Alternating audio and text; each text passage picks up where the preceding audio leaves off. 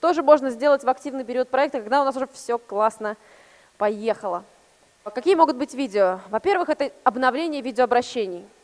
Особенно это актуальная история, если вы, например, очень ярко стартовали и очень быстро все собрали, и вообще уже, может быть, даже все собрали, а вам еще нужно как-то вообще объяснять, зачем вам еще деньги. В этом случае есть смысл обновить видеообращение. Или наоборот, проект буксует, и нужно снова привлечь внимание к нему. Воспользуйтесь э, дополнительным видео, которое вы просто обновляете. Ролики в поддержку. Когда известные медийные лица, например, лидеры мнений, блогеры, не знаю, актеры и так далее, музыканты, записывают видео, где они говорят, что вот эта-то команда, она команда, вот их-то надо поддержать. Зря вы сидите на месте, быстрее, быстрее идите к ним. Я думаю, что здесь все понятно. Когда известный человек высказывается о вас в положительном ключе, значит, вы не, не просто с улицы пришли, а вы серьезные ребята. Первые отчеты о проделанной работе. Мы вчера собрали первые 25%. Первый день это вообще отлично. Уху, здорово. Дальше у нас еще впереди очень много интересного. Мы в силу того, что так быстро собираем, решили добавить еще это, это, это, это, ну и так далее. Здравствуйте, дорогие друзья. Во-первых, хочу всех поблагодарить, кто поддержал нас и принял участие в нашей акции на сайте planeta.ru. Во-вторых, мы вот недавно обнаружили фотографии уникальные достаточно с фотосессии самый первый, который предшествовал выходу альбома «Первый круг».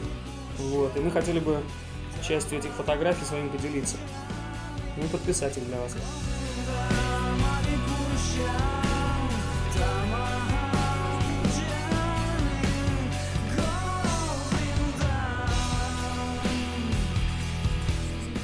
Уговорили группу такую штуку сделать, и э, они ее реализовали, вот э, такую идею, и у них просто очень быстро закрылся проект. Естественно, разобрали тут же вот эти фотографии. Они были не, не очень дорогие, тем не менее, там вообще все, все очень быстро ушло в проекте, очень круто работает. Видео, не имеющее прямого отношения к проекту, но которое демонстрирует работу всей команды. Когда вы запустили проект, и он уже в активной стадии, у нас есть такая функция новости проекта. То есть это такие обновления, которые дают понять аудитории, что вы не сидите на месте, у вас работа кипит, горит, ну как вот не назови. Вы что-то параллельно еще делаете, работаете над своей идеей, мало того, что деньги собираете. И вот такие вот ролики, они помогут продемонстрировать это еще и визуально. Как это часто бывает? Музыканты снимают ролики, которые демонстрируют, как они репетируют, как они пишут песни, как они сейчас записывают там первые там, репетиция, как они будут записывать голос или еще не знаю, как они там еще что-то делают.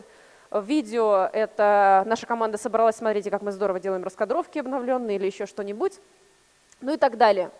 Насколько посещаемы эти новости? Они куда-то же запрятаны там внутри, кто их видит? Они не запрятаны внутри, они видны прямо на, на интерфейсе э, вашей компании, да, на вашего проекта. Там написано такое «Новости», эти новости уходят тем людям, которые вас уже поддержали, во-первых, напрямую. То есть, если у вас есть что-то интересное, люди благодаря этой новости могут прийти и поддержать вас повторно. Это бывает очень часто. Особенно под конец проекта, если у вас что-то там буксует, и нужно еще дополнительную поддержку получить. А, еще это очень хорошо работает на ту аудиторию, которая прекрасно знает интерфейс планеты. Потому что когда жители нашей, э, повторюсь, планеты, извините, э, гуляют по сайту, и заходят в проект и понимают, что там что-то нет совершенно новостей, они понимают, так, что-то, короче, ничего они не делают. Значит, написали тут, собирают 300 тысяч, а сами засели куда-то там, не пойми где. А вот такие новости являются индикатором того, что вы действительно работаете. И это позволяет привлечь ту аудиторию, которая ну вот, ходит вокруг да около, она знает о вашем проекте, например, но еще не очень уверена, что готова вас поддержать. Дальше видеоотчеты с мероприятий в поддержку проекта. Если вы организуете какое-то событие, встречу с теми людьми, которые вас уже поддержали, э, запишите короткое видео, короткий видеоотчет о том, как это было. Покажите счастливые лица людей, которые чего-то там уже, может быть, получили. Но это нужно делать только, если вы уже собрали половину. Ну, то есть помните, да, у нас правило, что вы получаете деньги, если собрали хотя бы 50% и это гарантирует вам получение денег. Соответственно, вот эту штуку нужно делать, когда вы четко понимаете, что деньги у вас будут. Ну, чтобы никому не было обидно, как минимум. Ну и, наконец, ролики нацелены на продвижение конкретной акции. Я не знаю, придумали это мы или нет, но мне очень приятно думать, что это придумали мы. Давайте будем, давайте все дружно решим, что это было так. Это продвижение какой-то конкретной вещи. Например, очень часто это делают с какими-то дорогими лотами, э, с целью привлечения внимания аудитории изначально к ним, но когда люди приходят и говорят, у, хочу гитару, конечно, но она что-то тридцатку стоит, я нет, не готов. Они смотрят на другие акции и понимают, что там еще куча всего интересного, оказывается, имеется.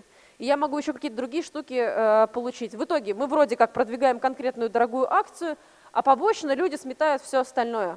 Это действительно очень хорошо работает.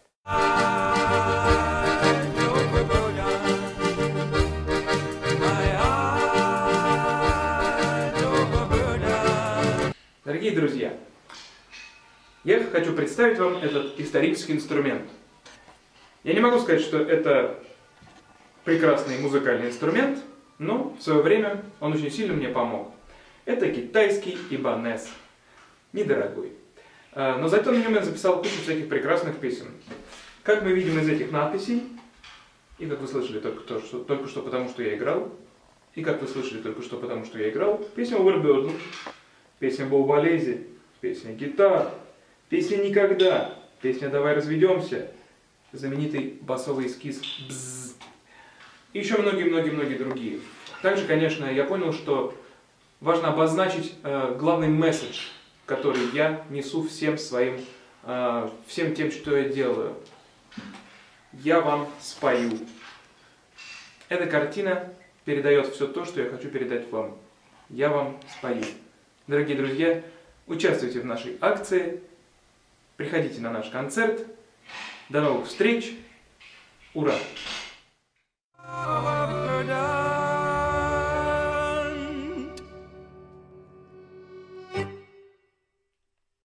Естественно, это работает не только с музыкальными проектами, просто у них примеры самые яркие, я решила их привести.